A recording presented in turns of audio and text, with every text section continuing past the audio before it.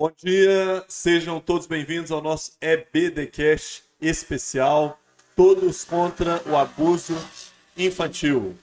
Vem conosco que hoje nós temos duas convidadas super especiais e o nosso bate-papo está demais.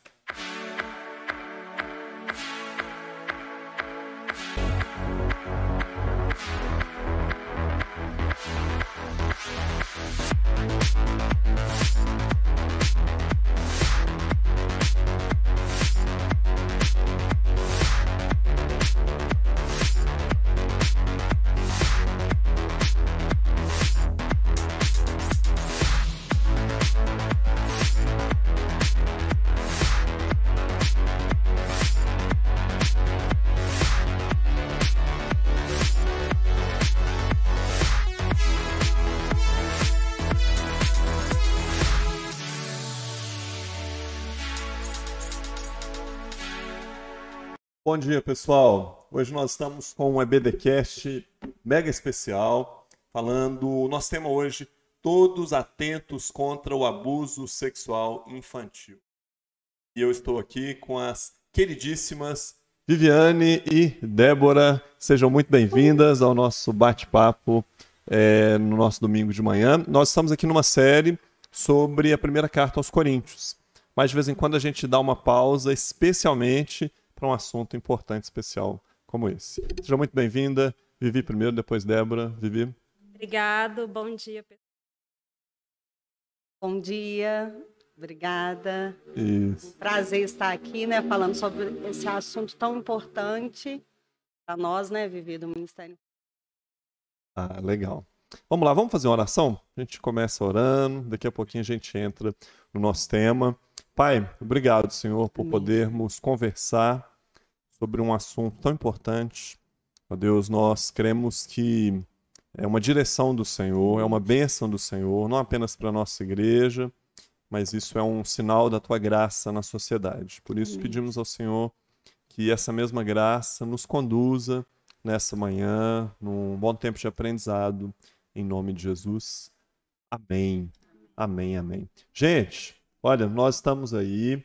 Eu estou mandando aqui o link ainda aqui, ó, para várias pessoas, porque nós estamos ao vivo. Então, se você está aí, quiser pegar também o seu seu smartphone, seu celular e quiser compartilha aí com outras pessoas. Fica gravado, né? Mas quem quiser interagir conosco vai ser muito bem-vindo aqui para o nosso momento. O... Gente, mas vamos falar aqui primeiro porque qual a importância de nós trabalharmos esse tema, né? Aliás, antes ainda, né? A gente está aqui, agora eu até consegui ver aqui a nossa tela, a gente, nossa mesa ficou bonita, hein? Com essas joaninhas, com esses balões. Vivi, explica pra gente de onde vem essa, essa decoração especial, para quem ainda não está sabendo o que, que nós estamos vivendo aqui na Ibaned, especialmente nesse final de semana. Explica pra gente, para todo mundo tá, tá por dentro aí. É, ontem tivemos aqui uma tarde maravilhosa, que é o musical Voa, que traz para as crianças de forma lúdica esse assunto que a gente tem um pouquinho de dificuldade de abordar. Então, assim, foi um momento muito especial, é, a oportunidade de trazer este evento aqui para as crianças da Ibaned. Isso. Então, ontem a gente teve esse musical, né, que foi realmente maravilhoso. A igreja estava lotada, foi lindo, né, Vivi? Ficamos gratos com essa é, oportunidade. Acredito que alcançamos as crianças aí. Sim. Realmente a linguagem é bem clara, né? E leve, de forma leve, para uhum. abordar esse assunto. Isso. Só que não Ó, pode ficar por aí, né? É verdade. E, e, e eu vejo, é, eu estava conversando com alguns pais, é, falando, ah, a, alguns pais com crianças pequenas, até porque a gente abriu para todas as idades, né? Então tinha gente com criança ainda de colo, eu mesmo, né? Tava com o meu de seis, eu e minha esposa, e com o Henrique de que ainda vai fazer dois. Então o Henrique não entendeu nada. Mas, falando com alguns pais, olha, ele não entendeu, mas você entendeu. Então, claro que o foco é as crianças, mas é também os pais, os responsáveis, porque como é o, no nosso bate-papo hoje, é todos atentos contra o abuso sexual infantil. Então a gente quer é, instrumentalizar, ou melhor, colocar ferramentas nas mãos das crianças, no sentido de que elas, ainda pequenas, elas tenham a compreensão do, do claro, na linguagem delas, não é? Mas elas tenham a compreensão do, do seu alto valor, da sua autoproteção e de como agir também. Mas, claro, os outros personagens, a começar dos pais, né, Débora? Começar da família nesse processo, não é verdade? É, e é importante a gente, como igreja, falar desse assunto, né? Trazer sempre. E eu agora que estava me recordando. Acho que a Catarina estava com ano e alguma coisa, era pequena, como você falou, né? Eu vim para um curso. Não lembro o nome da palestrante, mas lembra que nós tivemos um curso, a Brenda. Isso, a Brenda Como Heiter. esse curso foi assim é, iniciante, maravilhoso para mim, porque me despertou e eu ali no início da maternidade, sem saber muitas coisas sobre o assunto, esse curso abriu a minha mente, eu comecei a aplicar, né? É, na maternidade, eu, esse assunto. Então, a importância da gente estar sempre falando sobre isso, trazer sempre, né, como ontem um evento, falando sobre isso para a gente realmente entender e despertar, porque às vezes a gente Sim. vê um assunto muito longe de nós, mas é um assunto que tem que estar muito perto, né? É longe, parece longe. Parece longe. Mas na verdade, opa, estou apanhando o microfone aqui, peraí. Parece longe, mas na verdade não está longe, né? Assim, é, quando eu digo que não está longe, claro, a gente quer que esteja o mais distante, mas é porque às vezes a gente pensa que esse tipo de assunto, esse tipo de risco, ele não nos alcança como família, uma vez que nós aqui nós estamos num bate-papo da igreja, não é? Nós, nós, estamos aqui no, no, espaço da igreja, o evento da igreja, nós somos da igreja, nós somos igreja. Então a gente pensa, ah, isso aqui está fora. Mas será? Porque o que a gente ouve a respeito de abuso é, sexual infantil, é, a, a, as estatísticas apontam para que a maioria dos abusos acontecem num ambiente familiar ou de confiança. Eu quero que vocês falem sobre isso já já, mas antes da gente ir por esse assunto, só dar um alô aqui a quem está conosco. Aqui algumas pessoas já chegaram aqui no nosso chat. Então a Sirlene Rosário é, nos falando aqui, ó, nós já estamos ao vivo, hein? No, no... Sirlene ouviu aí os bastidores, né, Sirlene? Depois a Marilene Duarte, minha sogra, o Tiago nos dando seu alô. O Pastor Leal, querido, o Pastor Leal esteve conosco. Ontem foi um dia foi fantástico aqui, né? O Pastor Leal aqui conosco a irmã Luzia no Plenitude. É, a, a irmã Josélia, querida. Irmã Josélia, estamos orando aí pela sua recuperação completa, viu? E está sempre conosco aqui também. A Mari, minha esposa amada. A Daiane Pinho, a Fran. A Fran estaria conosco aqui compondo esse time aqui né? Mas a Fran teve uma agenda aí de última hora. Ô Fran, esperamos honrar aqui você na nossa conversa aqui e te aguardamos na próxima, viu? Ah, o Thiago elogiando a decoração. Gente, esse Thiago é um fanfarrão, né? Ele tá falando que quer ver a decoração quando nós formos estudar o livro de Judas também, né? O livro de Judas, quem depois vocês leem em casa, vocês vão ver a decoração que a gente pode pensar aqui, né? Só Jesus. O Estevão também deixando aqui o seu alô. Guilherme Brás, Fabinho Lúcio também. Conhece você, Débora? Está aqui também. Então, já que o Fabinho Lúcio está aqui, a Débora está aqui, vamos pensar um pouquinho. A ah, gente, ah, até um, para você que está nos acompanhando, vai dando feedback para a gente. Até agora a turma está falando que está tudo ok. Então, dá o feedback para a gente se tiver alguma questão de som, de imagem, ok? Nós estamos atentos. Giovanni, querido, está aqui conosco, nos dando aquela moral também. Mas, é, gente, vamos falar um pouquinho dessa questão aí que eu puxei há pouco do, dos pais, dessa questão da família. Porque pensar em algo, no, pensar em abuso sexual contra crianças, é, a gente pensa, poxa, algo é, é feio, é pecado, é crime, é um tanto de coisa, não é? É, é, é algo assim chocante. Então a gente pensa, isso deve estar muito longe da família, deve estar longe da igreja, não é? Mas parece que não é bem isso, não é? O que, que vocês contam pra gente aí? Então, é, a gente sabe que a informação é a maior forma de prevenção para as crianças. E aí cabe a gente ensinar, e aí são coisas básicas, igual vocês já citaram aqui, é, idades, né? Crianças pequenas. É, a, começa delas. É, só de você ensinar os nomes corretos das partes íntimas já é uma forma de prevenção, né? Eu também estive ontem com meu filho tem dois, quase três. E eu tive a oportunidade de aproveitar que o musical abre esse assunto, né? Ou a criança vai perguntar, ou você pode aproveitar do momento e comentar alguma coisa em casa. E eu comentei com ele, conversei, e aí eu foquei naquela parte, por causa da idade, que fala sobre a, a proteção do corpo, né? A calcinha, e aí fala as partes íntimas, e aí eu já entrei nesse assunto com ele. A gente ficou conversando, né? Ele está no desfraude, então eu peguei, foi uma parte que cabe.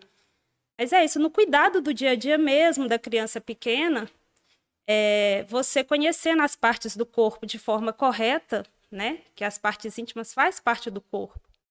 Aí você já está ajudando, dando essa informação, falando sobre o cuidado, né? Até citando mesmo que a calcinha, a cueca é para proteger essa parte, podem acessar, só a mamãe para cuidado ou a pessoa de confiança. Então, desde cedo, você dando a informação, você consegue ajudar essa criança. Por isso que a gente está vendo essa, como que é importante a gente trazer para a igreja.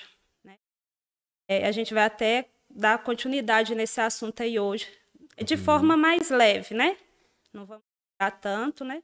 Mas é, a gente espera que a família, as famílias consigam entender, né? E dar essa abertura para a gente também, porque, na verdade, a gente gostaria de trabalhar isso é, junto, né? Sim. Com a família. Ok. É, Vivi falou muito bem, né, dessa importância da gente alertar, alertar sobre a parte íntima, né, que ninguém tocar. Inclusive, Vivi, como hoje eu estou na ministração agora de manhã, a lição fala muito bem nisso fala que se alguém tocar além do normal para uma limpeza, que até os pais, né, eles estão ali porque eles precisam limpar, passar um remédio quando necessário. Se existe alguma coisa que incomoda a criança, que constranja, já passa do normal. Né? Então essa criança ela precisa ter alguém, um adulto, e aí é importante a gente falar da questão do adulto responsável, que ela confie e se ela se sentir incomodada, ela precisa procurar esse adulto e, e falar, né? E assim a gente vai eliminando, né, as possibilidades, porque como o Lu muito bem falou, né, às vezes a gente acha que é uma coisa longe, mas a gente vê muitos casos de que o abuso acontece dentro de casa, uhum. né? Infelizmente, né, no ambiente de proteção, no ambiente de família, é, e ninguém está é livre geralmente, disso. A, especialmente a criança, é, ela para ela ser alcançada, mesmo por quem vai cometer um crime, até num caso de sequestro, né, que é algo também, meu Deus, terrível, né? É, geralmente busca-se ali a, a, conquista de uma primeira confiança com a criança, para que você possa é, levá-la para onde você quer. Né? E no ambiente familiar, quando a gente fala no ambiente familiar, a gente não está falando aqui necessariamente pai e mãe ainda que a gente tenha casos aí absurdos que até esses podem estar envolvidos. Mas geralmente não. Mas aí você tem às vezes alguém de confiança, alguém próximo, às vezes um vizinho. Não é? E com isso também a gente não está falando aqui que você tem que ter sair tendo desconfiança, assim, uma paranoia no sentido de não confiar em ninguém. Mas a, a gente precisa jogar e falar, poxa, é uma realidade. É uma realidade que os nossos filhos, as nossas crianças, é uma realidade que nós não conhecemos todas as pessoas. E os nossos filhos, as nossas crianças, eles justamente ainda não entendem bem essas como se dão essas relações. E às vezes alguém se aproxima e alguém que às vezes nós achamos que é alguém que poderia se confiar. E a peça que tivemos aqui ontem, ela mostra muito isso, né? Era um tio de uma amiga, então falou: "Nossa, meu tio é muito legal". Só que, ó, dando spoiler aqui da peça, né, para para quem não viu, né? Mas é, e aquele tio legal, depois descobriu-se que ele não era tão legal assim. Né? Então, é, é essa, é, é, é, esse ambiente de confiança, ele acaba que é necessário para que a criança ela se entregue. Quando eu digo se entregue, entregue o seu coração numa relação de confiança, primeiramente. Né? Na verdade, é algo que Deus fez. Deus nos fez para relações de confiança. E por isso que a gente dá o nome de abuso. Porque a usurpação de algo bom que Deus fez, né? ou seja, é algo bom, é, é mal usado, é, é abusado, né? da, de uma forma torpe, não é? de uma forma terrível. Né? E por isso, então, a gente não pode ignorar esse cuidado com, com o círculo de confiança. Não é verdade? Aí a informação, né? Passando essa informação, saiu da normalidade, deixa de ser normal, então tem alguma coisa e pode procurar alguém para falar. Sim. Alguém de confiança. Tem muitas crianças que, né, dispor, falar, umas falam até demais, outras falam de mim. Uhum. Adultos observarem, né, a gente como pais, adultos, tá, os detalhes, né? A gente tem que sempre observar. Essa semana eu vi uma manchete, eu não cheguei a ver a reportagem, mas vendo parte de notícias, né? Falando que uma criança ela foi é, salva de um sequestro porque ela conseguiu de dentro do carro acenar para uma viatura na rua. Então, às vezes, alguém que não estivesse ligado, eu, eu, eu não li, mas eu falei, gente, olha, o pessoal estava ligado, certamente treinado e percebeu, viram alguma coisa ali que estava estranha, né? Talvez algum de nós é, tivesse na rua não ia ter a mesma percepção, não sei como que essa criança sinalizou. E, mas na vida, especialmente em casa, às vezes a gente percebe os sinais. Olha, a criança ela era muito brincalhona, e ela ficou muito retraída, não é? Como é que a gente pode perceber esses sinais, Vivi? Assim, é, talvez não é, não é uma denúncia policial imediata, talvez a criança nem quer denunciar, mas até porque tem uma questão do medo, tem toda uma questão psicológica aí, e geralmente uma relação de abuso, ela vem com essa, com essa ameaça para que o outro não fale, não é verdade? Como é que a gente pode perceber isso aí? Bem isso aí que você falou, porque a criança se sente culpada, né? A maioria dos casos de abuso, a pessoa acha que ela tem alguma coisa a ver com. Então, ela realmente muda completamente o comportamento. Essa atenção especial quando a criança aí a, o jeito, a forma de brincar, ela trai. Aí tem que ficar atenção nesses sinais. É, voltando aqui, a Débora falou da lição de hoje e vai falar sobre isso, é, ações para que a criança possa buscar para se salvar, né? Que ela pode falar não, que ela pode gritar, que ela pode correr. E eu até comentei que é de forma leve, porque vai abordar o corpo, as partes do corpo e ações quando eu me sentir desconforto, né? Em algum caso que eu me senti mal, vai explicar para a criança dessa forma o que ela pode fazer. E só que o que acontece? Igual a gente falou que abre um assunto quando você trabalha, de acordo que você vai dando as informações, conversando com as crianças, e aí ela pode também dar abertura e pode mudar a conversa, né? Você pode até receber uma informação. Então, aí no caso aí você falou, é, talvez a gente não percebeu em comportamento, talvez a criança tenha noção do que está acontecendo com ela, mas como a gente vai entrar no assunto, igual ontem entrou, hoje vai entrar à noite nesse assunto. Mas a criança pode identificar nessa conversa e aí pode abrir, fazer uma pergunta para a gente perceber alguma coisa que para ela ela não tem noção do que está acontecendo, né? Porque realmente as pessoas usam de estratégias. Né? A pessoa quando ela está planejando mal ali, até aquela questão do a criança não tem conhecimento do nome da parte íntima, a pessoa pode usar de outro mostrar para a criança como se fosse assim, não tem nada de errado. A gente está brincando. E a criança percebe.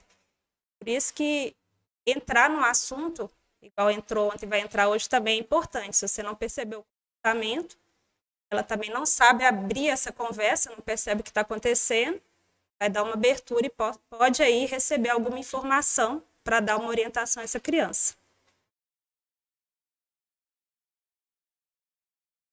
Levanta um pouquinho.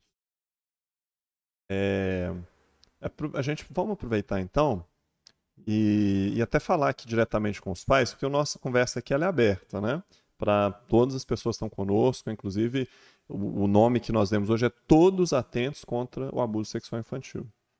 A gente tem um foco nas crianças, mas aqui acho que não tem nenhuma criança nos assistindo, então a gente está falando com os pais primeiramente, mas também outras pessoas que servem crianças, seja no Ministério Infantil, é, seja em outros ambientes. Né? Tem muita gente nos acompanhando aqui que trabalham em escolas. Mas é importante todos saberem, adolescentes, jovens, aqueles que um dia que já são pais ou um dia o serão. Né? Mas pegando aqui para os pais da nossa igreja, da Ibaned, é, a gente já falou aqui que nós vamos trabalhar com as crianças esse tema nesses dois próximos domingos, inclusive hoje e no domingo da próxima semana. Então é importante que a gente diga isso para os pais, porque é, a gente ensina que é um assunto, primeiramente, de que deve ser a atenção dos pais, da família. Né? Mas a igreja, ela também tem o seu lugar nesse ensino. E nós entendemos que é uma boa coisa a gente, como igreja, trazer essa abordagem para as nossas crianças. Claro que aquele pai ou mãe que de algum, por algum motivo se sinta incomodado, ele também não é obrigado, ninguém é obrigado a nada, né? ainda mais no nosso meio. Né? Ele fala, não, não quero que meu filho participe. Ok. Mas a gente está aqui, inclusive, devido a, a, a todos esses, é, todos os cuidados que se tornaram necessários, especialmente no nosso tempo, em que esse assunto é abordado, às vezes, de uma forma tão, é, é, por vezes, controversa, tão problemática, na nossa opinião aí na sociedade de forma geral. Então é natural que as pessoas tenham, às vezes, algum receio. Mas o fato é que não apenas nesse assunto, mas em todo assunto os pais devem saber, devem buscar saber o que, que a gente está falando. Não é verdade? Então aqui estamos deixando claro que nós vamos abordar esse assunto com os nossos flashes, que é o nosso ministério, com crianças aqui na Ibaned, nesses dois próximos domingos. Vocês gostariam de falar mais sobre isso também, para os papais e mamães que estão nos ouvindo aí? Então vamos, né? A gente já falou que vai ser abordado esse domingo. Já para ficar ciente é bom, né? Até para eles irem junto com a gente. E no próximo domingo é, vai falar sobre o segredo ruim e o segredo bom, uhum. né? Porque também é uma forma muito usada, né? É o nosso segredo. E aí trabalhando isso também dá uma noção para a criança, né? Pode discutir esse assunto aí com eles. Vai trabalhar praticamente dentro disso que, que seria esse segredo ruim? Dá um spoiler pra gente. Não fala pras crianças, não, viu, papai, mamãe? Só pra gente aqui. O que, que é esse segredo ruim aqui? É aquele segredo que me deixa mal, me deixa triste, né? Com vontade de chorar, que eu não posso compartilhar com meus amiguinhos. Realmente é um desconforto. Uhum. É um segredo ruim. Isso. E hoje a gente vai falar ali sobre conhecer o corpo. Corpo e algumas formas para sair das situações de perigo, né? Trabalhando dessa forma, é, não gosto é, daquele carinho, daquele toque, do abraço, não quero abraçar, mostrar para a criança que ela pode falar não. Né? Realmente ela não é obrigada a fazer essas trocas com o adulto. Talvez acontece casos que os próprios pais falam para as crianças ao chegar perto de um adulto amigo dos pais e fala, abraça, beija, e esquece que a criança não é amigo daquela pessoa, é amigo dos pais. Então é até bom a gente mesmo, como pais, cuidadores dessas crianças, observar isso, né? É, a gente não faz isso com uma pessoa desconhecida, com um abraço. Então, por que fazer isso com a criança pode dar uma percepção para ela errada? Uhum.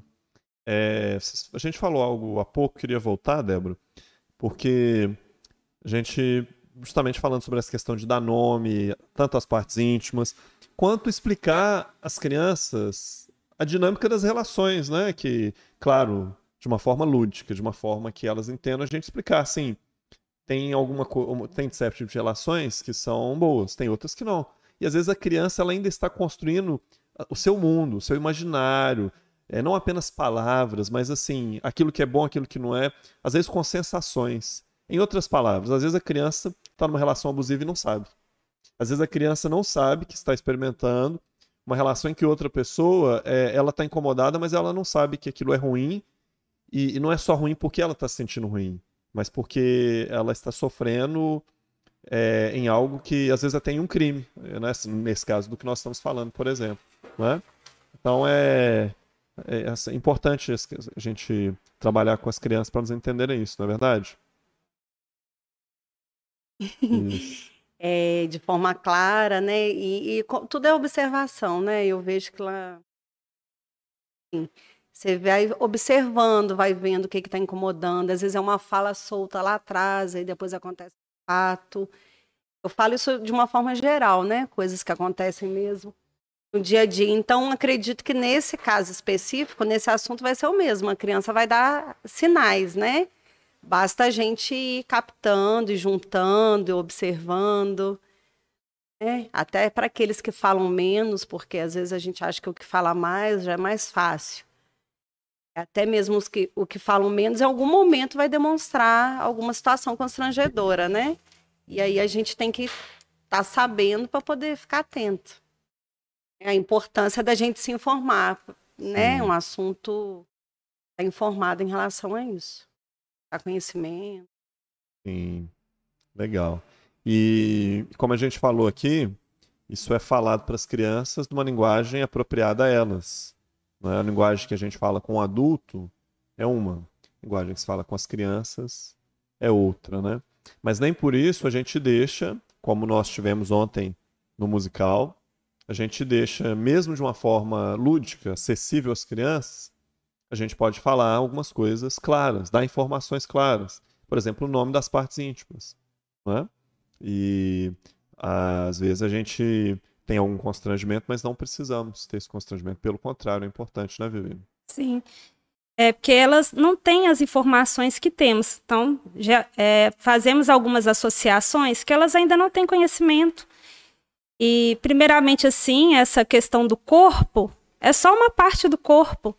E a gente fica com essa limitação de falar para a criança, mas pode tratar assim: aqui é o braço, aqui é o pênis, como uma parte do corpo normal. Até para ela não sentir como se aquela parte fosse errada, ou até nojo, né? Como questão assim do cuidado quando for limpar a criança, a forma que você demonstra, é só uma parte do corpo com as suas funções, né? Tudo no corpo tem a sua função. É só, só isso, só ensinar. Isso que é importante. É, e fica estranho, né? Se a gente já ensina limitando aquilo, o que, que a criança vai perceber? O que, que tem de errado? Por que, que eu não posso nem entender? É só uma parte do corpo. Isso. Por isso que é tão bom trabalhar essa introdução assim dessa forma, conhecendo o meu corpo, e essa é uma parte. A única coisa que a gente tem que demonstrar assim é sobre as partes íntimas, que é uma parte do corpo reservada, que tem que ser protegida. E aí a gente tem até uma ponte aqui para a gente falar da, a, da, da fundamentação bíblica para isso. Porque talvez alguém pense, poxa, mas a igreja tratar esse assunto? É claro, primeiro porque a Bíblia nos coloca um Deus que ele é marido das viúvas, é protetor das viúvas e é pai dos órfãos. O Antigo Testamento tem muito essa tradição de, de, do cuidado com aqueles marginalizados e aparecem três categorias de modo especial: os órfãos, as viúvas e os estrangeiros. Mas não é que é só eles, ali é, um, é uma representação para a gente de todos esses que estão mais carentes de proteção.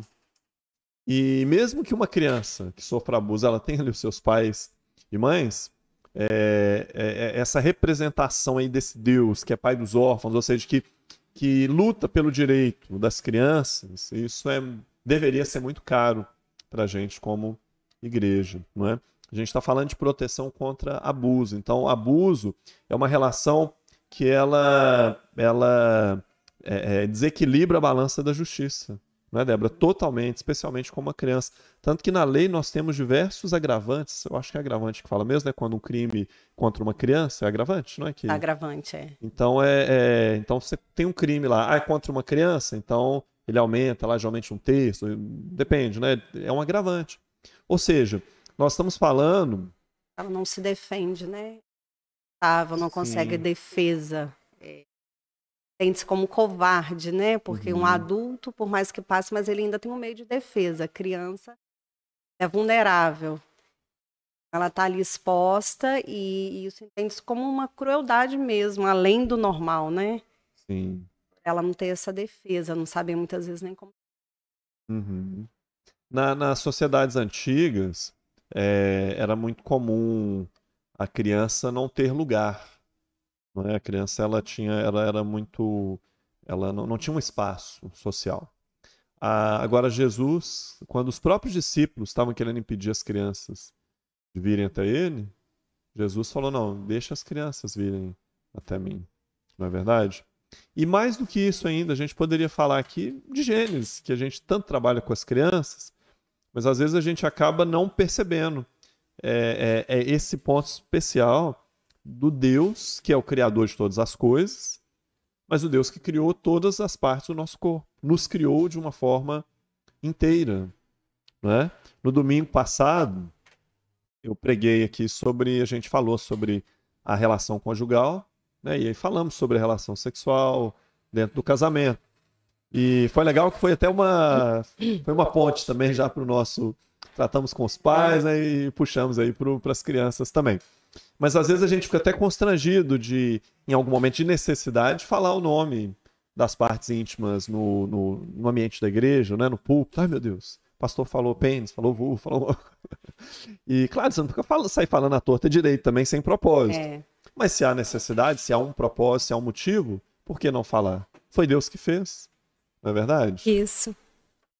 Especialistas, as pessoas que estudaram, né, que a gente precisa faz isso em consideração, eles orientam a falar exatamente assim. Claro que com propósito no momento certo, não sai falando, né? Mas é, eles, né, foi o que a gente já falou aqui agora, que os especialistas, inclusive, instruem os pais a darem nome certo. Justamente para não cair em apelido, porque muitas crianças não conseguem, não conseguem identificar, às vezes, um abuso no início, porque dá um apelidinho, Aí o abusador fala o apelido, a criança remete, consegue vincular que, é, que aquilo que ela falou é a parte íntima dela. Então, quando a criança sabe o nome correto, ela vai falar da forma que ela ouviu, ó, tocou, é, dando o nome correto. E aí o pai já percebe, muitas vezes, esse abuso no início ele acaba, né? Não, não prossegue. É, então é importante até para a segurança é, exatamente falar o nome correto. E até para ela comunicar, né? Se ela for procurar um outro adulto de confiança e não saber citar o nome corretamente, então ela vai, não vai conseguir comunicar para a pessoa o que, que ela está querendo falar daquela parte que foi tocada, que incomodou, e ela vai citar o nome, a pessoa pode, pode não entender. Uhum. Igual aquele caso da florzinha, né? Que a Isso. Brenda trouxe pra gente, né? Se vocês é. quiserem comentar. Do... É, o nome que a família é, falou pra criança que era florzinha. E aí o abusador, ele tá de olho, né? Ele vai devagar, ele observa. Então foi o que ele usou. Foi o que ele falou para ela, né?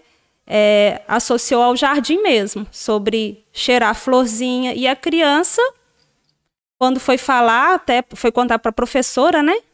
E ela falou assim, foi um pouquinho difícil para ela entender. É porque parece que o abusador estava As... associando a cheirar a florzinha e isso. a criança falou isso com a professora. A professora isso. falou que bonitinho, né? Cheirar a florzinha. Só que era outra... Era, era o nome da parte íntima dela, que ela conheceu dessa forma. Entendi. É, gente, nós estamos aqui agora é, com uma turma boa aqui nos acompanhando. E eu quero até aproveitar que eu não falei no início, é, porque a maioria das pessoas aqui são da Ibaned, né? Mas para quem não é da Ibaned, está conosco aqui, talvez não conheça a Vivi, a Débora. A, a Débora é advogada e é também membro aqui do nosso Ministério Infantil, né? E a Vivi é a líder do nosso Ministério Infantil. E então são pessoas assim muito aptas a estarem aqui presentes e falam com muita propriedade estão aí na linha de frente dessa, desse cuidado conosco. Vivi, você está na frente do nosso Ministério Infantil desde quando, Vivi, já? Tem Acho que 15 tem... anos já? Não. não. Uns 5 anos. 5 anos já, meu Deus, uau. E graças a Deus, porque a gente tem buscado, a gente tem sido despertado para essa compreensão da importância de investir nas crianças, né? Outras pessoas vieram antes. A gente louva a Deus por cada pessoa que passou. Tem aqui gente que nos acompanha aqui no chat. A, a, a, Joyce está aqui conosco. Outras pessoas já estiveram também nesse ministério de frente, né? E, mas hoje, já há algum tempo, então, vivi. A Débora aí também está integrando esse time de frente aí, né, Débora?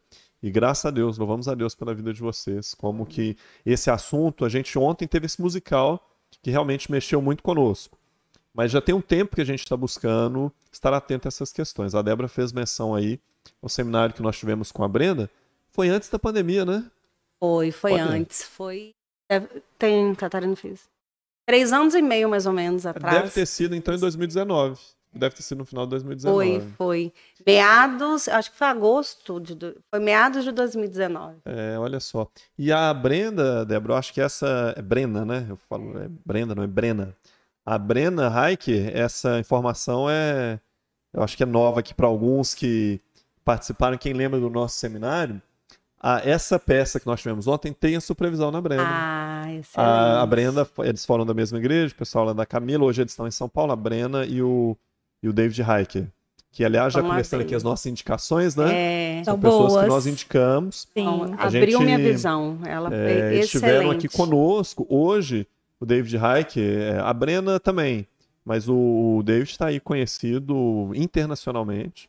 Está falando muito sobre. Ele trabalha de forma geral, questões de sexualidade de forma geral. E a Brena foca mais nas crianças, né? Mas é um casal realmente referência, um casal bênção do Senhor nessa área aí, né? Então, já dando algumas indicações. Daqui a pouco a gente vai indicar mais, mas deixa eu dar outro alô aqui para quem está conosco aí. Muita gente interagindo com a gente hoje aqui no chat. A, a Poli falando né, que a decoração aqui da mesa está incrível. Realmente está bem legal essa mesa aqui hoje, viu? E a Sheila, querida. Sheila, o Lídio, né? O outro dia eu pensei, pensei que era a Sheila, o Lídio chegou falou: Ó, oh, eu que estava lá, atento. A Josélia falando que as crianças aprendem muito com o lúdico e tem mais facilidade em guardar as coisas. E, e é interessante, eu falei há pouco aqui de um bebê de colo, que às vezes a gente acha que não está entendendo. Ele não entende da mesma forma. Mas tem uma vantagem, além do pai ficar atento, a coisa também vai ficando natural, né? Já vai assim se tornando algo que não é algo que eu só vou discutir quando meu filho tiver 10 anos. Às vezes, é, com 10 anos, ainda mais hoje em dia, a coisa está tão acelerada, com 10 anos o menino já está sabendo mais que a gente. E, e, e, quando a gente entende, opa, peraí. É, a, a Brena, outro dia eu estava ouvindo uma fala dela, Débora, e ela fala justamente isso. É, diante de uma pergunta, quando deve começar a educação sexual para criança? Ela falou assim, quando a criança nasce. é, e ela falou isso no curso, eu lembro perfeitamente, desde que nasce. Porque eu até pensei, gente, eu tô aqui, a Catarina tão nova, né? foi a melhor escolha que eu fiz foi ter vindo nesse, nesse seminário, foi uma benção. Porque ela falou exatamente isso. Desde que nasce, você já tem que começar no trocar da fralda, o jeito que você segura, já instruindo nas falas, para justamente ser uma coisa natural. Uhum. Aí eu falei, uhum. uai, então até trazer um pouquinho aqui, né, com um ano e meio. Mas é, realmente foi assim, foi, foi uma benção esse seminário. Por isso que eu falo da importância. Com certeza, daqui a uns anos, é, um musical de ontem, ou daqui a uns meses, né? A gente vai ouvir testemunhos de que abriu a mente de alguém, e principalmente porque a gente falou que veio né, muita gente da, da Ibaned, mas nós vimos que não foi, que teve muita Sim. gente de fora. Então, nós não alcançamos só a Ibaned. Eu não pude estar, mas eu olhei, chamei muitas pessoas, eu fiquei muito feliz de ver que veio, vieram muitas pessoas de fora. Você vê que é um assunto né, que as pessoas querem entender. Isso. E é um assunto que a gente pode trabalhar e a gente sabe que é em prol de uma coisa assim é excelente, né, Vivi, como a gente está aí na questão das crianças, esse amor aí, ensinar as crianças e, e proteger mesmo, né? É, e é um assunto que a gente pode trabalhar, que a gente vai estar tá fazendo assim, uma, daqui a um tempo eu tenho certeza, uma colheita muito grande do que a gente está plantando hoje. Amém. É, é ontem eu, eu, tenho a impressão que tinha mais gente fora até, né, Vivi? Do Sim, que a gente também. da, da igreja. É... Né? Interessante que a Débora falou, né, que ela aprendeu é, muito né, nesse seminário. Até falou a idade da filha dela, que ela foi tarde, né, que ela recebeu uma informação que poderia começar antes.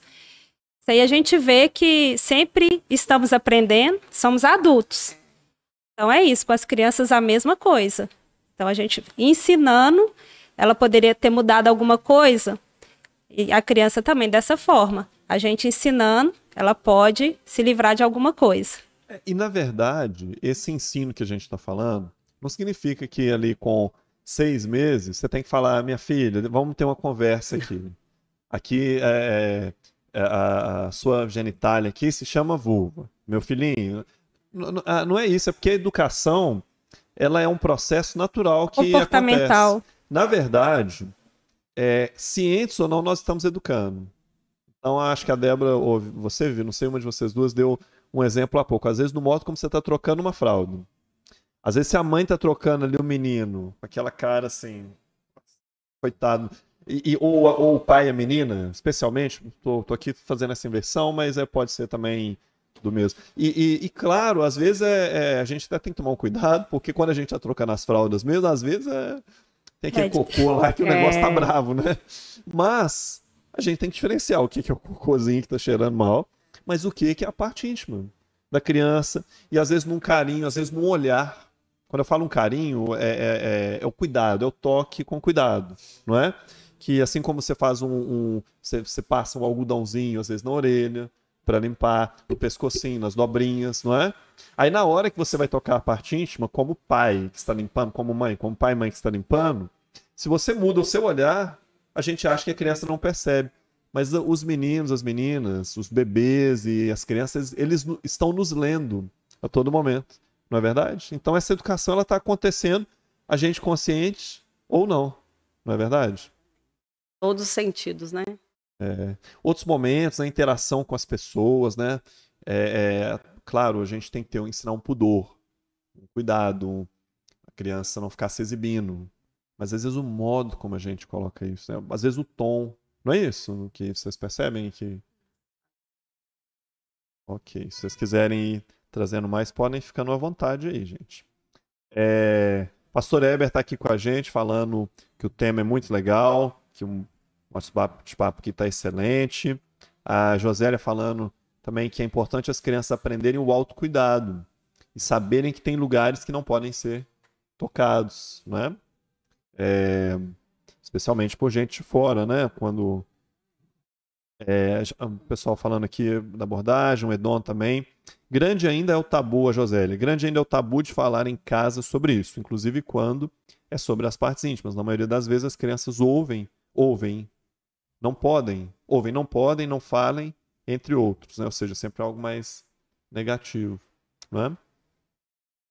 A Paolo, Alessandro, a Sônia Martins aqui conosco, excelentes orientações, a Magda, Elaine, Deus abençoe e guarde as nossas crianças. Amém. E o, o Monitorar, falando que canal legal, assuntos relevantes, vou assinar. Você conhece esse Monitorar aqui? Isso eu acho que é outro fanfarrão aqui, não é, Vivi? Acho. que é o Wesley com seu avatar aqui, que é também líder aqui do nosso Ministério Infantil junto com a Vivi. Gente, vamos falar aqui, a gente já está caminhando para o fim, o nosso tempo aqui passa rápido, hein? Mas uh, o, nós estamos hoje é dia 18 de junho.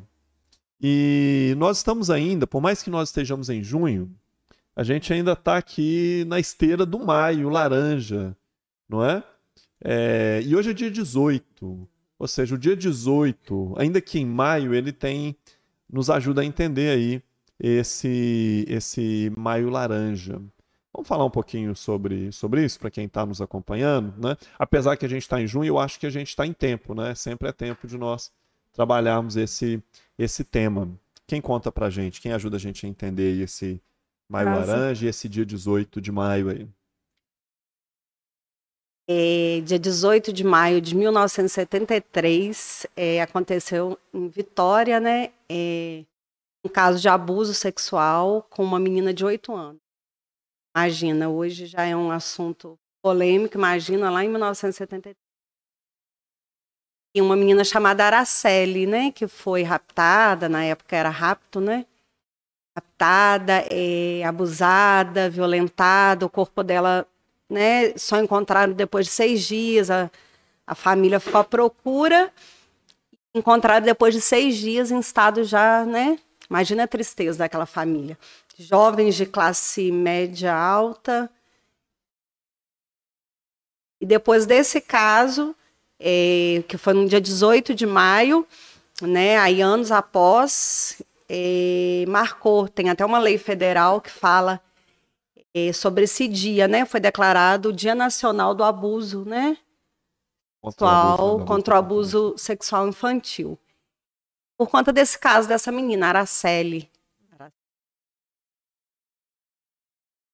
Marcou, né? E por conta disso nós agora temos, né? Aí depois eu acho que, salvo em 2012, é, veio a ser intitulado o mês de maio como esse mês de proteção. Então, todo mês de maio, é, de um tempo para cá, a gente vê falar, né? Assim como tem o outubro rosa da, da, do câncer de mama. Setembro amarelo. Setembro amarelo, está é, tá intitulado Maio Laranja para essas questões de abuso. Então é um mês que a gente ouve muito falar, né? As pessoas fazem programação, mas a gente já entende, principalmente a gente que trabalha com crianças, né? Até um chamado aqui, Vivi, para nós que somos, que trabalhamos, que somos pais, para a gente não ficar é, só nesse mês de maio, né? Para a gente pegar essa causa de proteção contra a criança, é, para fazer parte das nossas vidas mesmo, para a gente aplicar isso, se detectar um, né, um filho de um amigo, uma criança, às vezes numa situação vulnerável, para a gente ter esses olhos abertos, né? Eu, depois que eu me tornei mãe, é um assunto que para mim é de suma importância.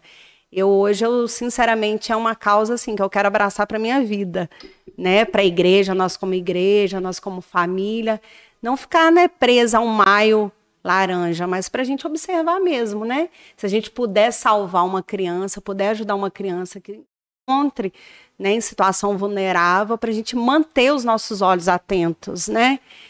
E esse caso da Araceli, lá em 1973, ele ficou impune, né? Imagina o sofrimento dessa família é, de inclusive ficar marcado essa data por um acontecido de um filho, né? Muito triste, então vamos realmente pegar esse maio laranja, claro, é uma data que as pessoas se conscientizam, mas vamos pegar isso para nossas vidas, né? Como, como pessoas que cuidam de crianças, como ministério, como igreja, né? E ficar atento, inclusive, na comunidade, né? Não só na nossa igreja, as crianças da nossa igreja, mas é mesmo um chamado para a gente ficar atento à comunidade, né? Deus tem colocado isso no meu coração e, né? E Vivi também tem conversa muito sobre isso. E Deus nos use, né, Vivi, como como igreja, como mães, para a gente poder ajudar outras pessoas e, e realmente despertar, né, esse assunto. Sim, amém. É, nós temos aqui também, acho que é oportuno a gente trazer aqui algumas indicações. É, você, Vivi, não sei se é Vivi ou Débora, havia falado o nome, parece que de uma psicóloga que, que ela trabalha justamente nesses casos com proteção. Isso, proteção às crianças. Ela, como outros profissionais que atuam essa área, uma coisa que eu acho interessante até falar aqui, é, a gente está falando aqui da dificuldade de abordar o assunto com as crianças. E também tem quando a criança traz a dúvida. E aí as pessoas têm mais dificuldade ainda, dependendo do que a pessoa tá, do que a criança perguntou. E agora, como que eu vou falar? O que que eu vou responder? E geralmente esses profissionais sempre indicam você entender antes de responder. Você escutar mais a criança, você questioná-la o porquê, de onde veio aquela dúvida, para você realmente entender o interesse dele. Até mesmo porque a gente tem informações a mais e pode associar alguma coisa que não é do interesse da criança naquele momento. É, ela está fazendo uma pergunta com uma necessidade simples de entendimento e a cabeça da gente vai lá na frente e fica preocupado, mas não é. Então, essa é a recomendação, sempre buscar a devolver a pergunta, entender, para depois é, esclarecer. E esclarecer, né? Porque se ela precisa daquela informação, vamos dar, né? É, ok. É... Então, eu colo... colocamos aqui os nomes né, da Leiliane Rocha, psicóloga, é, Brena Heiker, que tem esse curso disponível pelo Instagram dela. Hoje ela, nós tivemos aqui o curso presencial, mas hoje ela dá o curso online, é justamente como e quando falar é, de sexualidade para as crianças. E também o Guilherme Shelby, né, Débora? Que o Guilherme Shelby ele tem trabalhado nessa linha de defesa também, né? Fala um pouquinho dele pra gente, por favor. Guilherme Shelby, ele é procurador da República e ele hoje pegou essa causa, né? É, ele tem um ministério chamado Proteção é, da Infância e tem divulgado, já escreveu vários livros, é autor de vários livros é, referentes né, a esse assunto. Ele é palestrante, ele tem dado palestra em escolas, em igrejas, né, inclusive com uma palestra direcionada para a escola e outra direcionada, um pouco mudada, é, na como a igreja tratar esse assunto. Né, e, e mesmo instruindo as pessoas a, a infância protegida é o nome do ministério instruindo mesmo, indo nas escolas, indo nas, nas igrejas, falar o que, que a igreja pode fazer para despertar na, na, na, comunidade né, sobre esse assunto, o que, que a escola pode trabalhar né, para evitar determinadas questões dentro da escola. Então, é, é realmente, eu, eu comecei até a fazer o curso dele, fiz durante um tempo, essa infância protegida, e ele é uma referência, né, uma referência nacional, tem um coração voltado para isso, Vale muito a pena é, segui-lo, porque ele né, dá muito material assim pelo Instagram, mas ele também tem livros excelentes. Vale a uhum. pena conhecê-lo. Legal, ok. A Joyce está falando aqui. Minha questão é quanto ao uso do banheiro, principalmente os meninos que a partir de certa idade têm de usar o banheiro masculino sozinhos. É, realmente essa transição né, em que a criança vai ficando crescidinha, tanto o menino quanto a menina, né? Mas o menino acho que é, acaba que tendo realmente um pouco mais essa preocupação por parte dos pais. E vocês têm alguma sugestão, alguma, alguma fala sobre isso? Se ela fala eh, de uma forma geral com o filho ou em escola, será? Eu não fiquei. Porque por exemplo, os pais de meninos estão crescendo. Eu, se for né, os filhos, eu vejo que a gente tem que continuar essa orientação. Né? Ó, você vai ao banheiro, a mãe não vai estar tá lá, é, fecha a porta, né? Para que ninguém veja a sua parte íntima. Então, acho que tudo relacionado nessa questão mesmo da proteção, que é íntimo, que ninguém pode ver, né? Já se limpa sozinho, já, já consegue sozinho. Aí isso em casa a gente já percebe, né? É, se já faz sozinho para não precisar ninguém tocar, nem, nem para limpar. Então acho que é mesmo orientação mesmo de, pelo menos eu como mãe, eu já tenho tentado fazer isso, né? Tipo, você já consegue se limpar sozinha, então já não precisa ninguém nem entrar, você já consegue ir sozinha.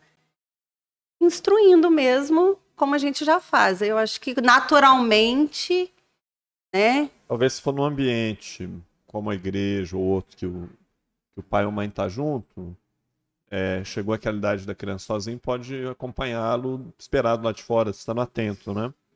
Mas se tiver também num ambiente igual a escola, a escola a gente chega um certo momento que a gente não tem ali a proteção. Mas eu creio que as próprias escolas estão ficando mais atentas quanto a isso também, né? E de tudo, não havendo essa essa é, é a gente não podendo, não, não, não estamos lá, é, é, é, cercar com essas orientações, né? Como foi falado aqui, às vezes a criança perceber algum movimento, gritar, é, procurar um momento em que estejam outras pessoas por perto, não é? Se ela sentir uma insegurança, ou se ela demonstrar com a família uma insegurança, procurar saber, né? Também está tendo algum, algum alguma situação que está provocando isso. Né? É o que vai ensinar hoje, né? que ela deve estar tá falando nesse momento que separa, que é as ações de perigo, que vai uhum. relembrar a criança isso aí que você está falando, sair correndo, gritar, que é o momento que ela não vai poder estar tá lá, mas pode ensinar essas ações. Uhum. E olha, a Paola está falando aqui, ela participou também da palestra com a Brenda. Eu creio que não tem idade para começar a trabalhar sobre esse assunto. Eu mesmo participei da palestra na Brenda. E não sou mãe, mas ainda serei. Creio que já é bom ir trabalhando isso nos adultos. Isso, verdade, Paola. A, a Joyce agradeceu aqui pelo retorno. Na escola, chega. A Josélia, na escola, chega. A Josélia, lembrando também que também trabalha com criança em escola, né? Na escola chega a idade onde eles já têm a autonomia, né? E aqui, muito que a gente está falando aqui é sobre essa construção da autonomia. E, e, que é importante nesse processo de autonomia. A criança não apenas conseguir ir dando conta de fazer as coisas sozinha, é um processo nosso, né? Começa ali a criança quando ela não depende mais das fraldas, Isso. ela vai tendo novas conquistas, não. mas ela também vai ter novas responsabilidades e vai tendo uma percepção cada vez maior do seu corpo e da necessidade do, do cuidado. E aí entra a própria noção de privacidade, né? É, que está sendo construída. E a criança ela precisa ser protegida nisso aí. Aí entra também a questão, né, que você tem que lembrar tem esse autocuidado, ter esse momento que você separa e que tem pessoas que estão ali com outras intenções. Por isso que a ensinar essa parte aí de, da, das ações, né? Sim. E essas ações, se de tudo, uma criança ou até alguém de fora é, quiser, às vezes, tiver dificuldade de falar com outra pessoa próxima, é, seja porque às vezes a gente está falando aqui é, dessa relação de buscar ajuda, mas para buscar ajuda você tem que ter uma confiança, especialmente numa situação de abuso em que há um sentimento de culpa muito grande sobre a criança. Então essa é uma das coisas que a gente está ensinando também, que a criança ela não é culpada por algo que ela sofreu e a criança às vezes ela ainda não tem o discernimento dessa dessa realidade. Mas vamos pensar aqui num caso é, em que o abuso realmente está dentro de casa. Para quem essa criança vai falar? Às vezes ele tem um outro adulto de confiança, não é? que é às vezes um professor, às vezes alguém na igreja. Gente, por isso que a gente tem que estar tá ligado. É. Às vezes um professor, a gente fala, né, aqui a gente fala muito pouco, né, mas às vezes a gente ainda fala ah, ó, a tia da salinha, ou a professora, a pessoa da salinha, né? Essa salinha, essa tia, entre aspas, muitas aspas aqui da salinha, uma pessoa que pode ser estratégica para numa escuta, né? ou um vizinho atento, porque às vezes pode ser um pai, uma mãe, a gente infelizmente, né? a gente ouve situações que é difícil de acreditar, mas acontece. E mas também tem um pode pegar um telefone e ligar, não é? Tem um número, né? Que número que é esse aí? Disque 100. Disque 100, né? É, ensinou bem ontem para as crianças, né? Que é a forma de repetição. Uhum. Achei legal a estratégia do musical em abordar o Disque 100 eu acho assim importante. Por exemplo, se for um vizinho, imagine se alguma criança te procura na salinha para contar alguma coisa. Dependendo do ambiente, se não for na igreja, né? Na igreja, normalmente, a gente vai levar lá para o pastor e vai chamar, talvez, até os pais para conversar, para tentar entender, né? Pra... Mas, por exemplo, se for um caso de vizinho, né? Ah, vou só ligar lá para o Disque 100, às vezes a pessoa quer algo presencial, se sente mais seguro, né? Porque tem muita gente que tem dificuldade nessa questão. Existe a delegacia especializada, né? É, Belo Horizonte tem, contra crimes, contra criança. Então, e onde procura? Joga é, na internet para pesquisar? Eu, é, eu endereço? tenho um endereço aqui, está atualizado, mas tem endereço a internet é fácil. Aí você mas... pode ir pessoalmente no endereço? É, e... na Avenida Nossa Senhora de Fátima. Ah, é, mas procurando é fácil de uhum. procurar. É, vai, especializada é, de crimes contra criança e adolescente. Está vinculada a. Escrever aqui. Adolescência. São questões específicas, então pode procurar, inclusive, essa delegacia específica. Lá eles têm dependendo até tratamento psicológico, já, já, já a denúncia A gente está falando muito aqui sobre. É, ó, Sirnene lembrando uma coisa aqui muito importante, Sirnene. Lembrando que, embora seja menos comum, existem abusadoras do sexo feminino também. E a gente tem, uma, a gente tem um imaginário social, né? Que a gente logo imagina a menina ou o menino sendo abusado por um homem. É.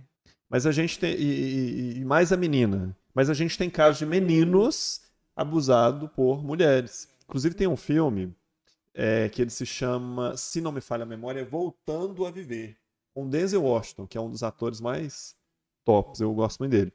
E, e nesse livro, nesse filme, é uma história de um rapaz que ele está buscando ali lutar contra os traumas, trabalhar os traumas do abuso que ele havia sofrido por uma mulher na sua infância. é realmente muito importante a gente lembrar isso também. É, gente, caminhando aqui para o nosso encerramento, o, a gente falou muito aqui sobre a questão da prevenção, né? mas é importante a gente é, justamente lembrar, né? a gente falou aqui do Disque 100, no caso de uma denúncia, né? porque a gente tem o aspecto da prevenção, que é o melhor dos mundos, vamos assim dizer.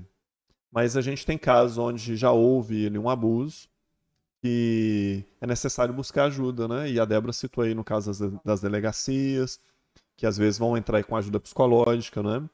E a gente também deve ter essa sensibilidade até na igreja de eventualmente encaminhar ali, num caso como esse, para uma criança, sempre devemos encaminhar para uma ajuda psicológica, é, para que se avalie a necessidade aí de um processo de acompanhamento, de uma, de uma restauração da identidade dessa criança.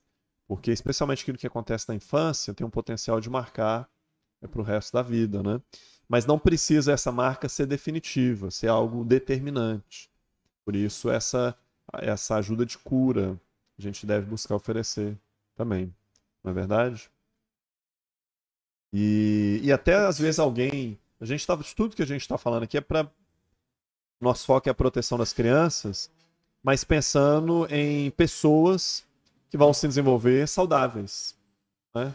tanto na sua na dimensão da sexualidade quanto de toda uma vida saudável, uma pessoa que depois vai interagir na sociedade de forma saudável com outros também, né? Então o que nós estamos falando aqui é de formar pessoas ou de ajudar pessoas a serem discípulos de Jesus, curados, abençoados nessa terra para serem uma bênção também. Amém? Amém. Falar, Sim, eu sei, é um assunto até que a gente mas está dentro dessa, uh, desse assunto. Nós, como pais, também, a nossa consciência, né? É... Porque muitas vezes a gente acha algumas coisas naturais, né? A gente acha se fosse natural, principalmente não é uma regra, mas às vezes um, os pais de um menino, né? Aquele assunto, ah, fulaninho quando crescer vai casar com, com a Aninha. Às vezes a gente, indiretamente, a gente está despertando um lado sexual da criança prematuro, né? Porque a gente sabe que crianças não namoram, né? E a, gente, a gente tem que evitar qualquer assunto que possa vir a despertar a questão sexual na, na infância.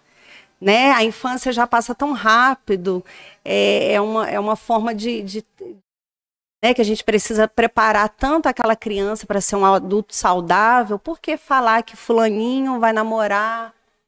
É, desperta indiretamente. Eu, como mãe, eu vejo que parece que a gente está querendo despertar um lado que não tem necessidade de despertar agora. Né? É, o fulaninho, Deus já preparou o marido e esposa do fulaninho. Eu, por exemplo, eu oro a Deus todos os dias, assim, quando eu oro pela Catarina, eu peço a Deus para que prepare o marido dela, né? E eu acho que nós, como pais, a gente poderia orar mesmo pedindo, né? Porque Deus já sabe, né? Ele sabe de todas as coisas, sabe do hoje, do amanhã. Então, às vezes a gente, como pais, a gente até olha assim e fala, nossa, seria, né? mas é Deus quem está no controle. Então, eu acho que a gente começar a fazer isso numa infância desperta um lado precoce da sexualidade que eu, que eu, Débora, como mãe, não vejo necessidade. Então, que a gente puder, né, é, pedir a sabedoria de Deus mesmo para essa questão da sexualidade, evitar ao máximo essas questões que podem vir a despertar, porque criança é criança, né? E como nós já sabemos, nós já nascemos, né, com, com, com, a natureza pecaminosa, desde o jardim lá, a gente já nasce, esses dias mesmo já falou, a gente já nasce, não é santinho não, nossos filhos já não são santinhos, porque já existe uma natureza pecaminosa em nós que a gente já nasce com ela. Mas se a gente for ficar despertando isso como pais, eu acho que a gente pode estar tá dando um salto à frente, né? Então, crianças não namoram, crianças não têm que ter pensar nessa possibilidade. Crianças têm que brincar, aprender de uma forma natural.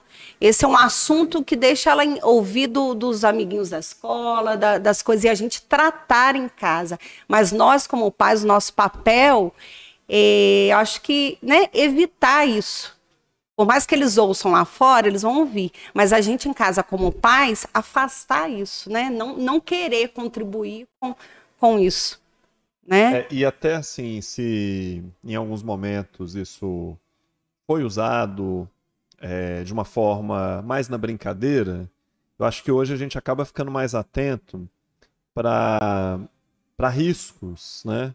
É, porque às vezes é, é era comum, e é ainda comum, é. uma criança que fala, ah, esse aqui é meu namorado, né?